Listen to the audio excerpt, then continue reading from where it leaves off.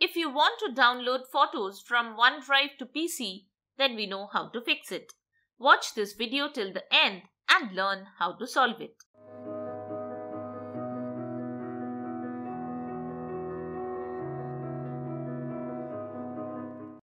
Hey, you're watching Silicophilic, the home for all tech users. OneDrive is a cloud storage platform made by Microsoft, which is widely used across the world as the standard go-to cloud storage device. But it can sometimes become hard for new users to understand how to upload or download files between their PC and cloud storage. Here we have shown how you can easily download photos from OneDrive to PC, so stick till the end and perform as shown. Before we get into the solution, subscribe to our channel for future tech support. Also, like this video if it helps you solve this issue. Don't forget to comment your feedback on the solutions or if you're facing any issue while performing them. We also have a Facebook group of troubleshooting experts where you can share your tech issues and get direct help. The link to the group is in the pinned comment. Now, let's jump into the solution. Open OneDrive and log in to your account. Now select either the photo or the folder of the photos that you want to download. Once you have selected the files, click on the download button. The folder will be downloaded as a .zip file on your PC.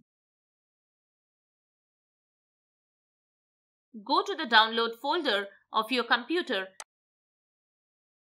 and right click on the folder that you just downloaded. Click on the Extract All option from the pop-up menu on your screen. It would open up the Extract Compressed Folders dialog on your screen.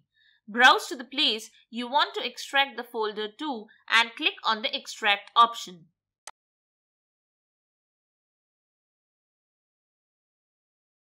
This way you can easily download not just photos but any other document or files that you have uploaded to OneDrive.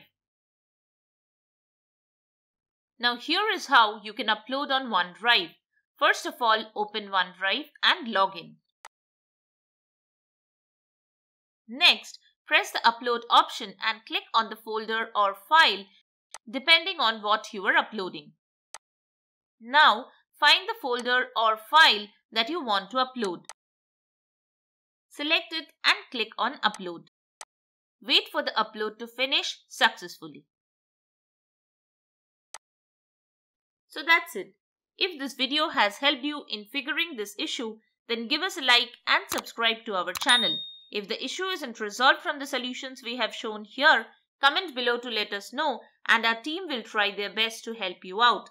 Also join our Facebook group for direct tech support. The link to the group is in the pinned comment. Thanks for watching Silicophilic.